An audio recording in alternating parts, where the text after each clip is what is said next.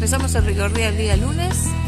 Hoy tenemos de mañana un recorrido por el por acá por París, después un almuerzo en el un almuerzo en el en la Torre Eiffel y después nuevamente un tour eh, por el Sena.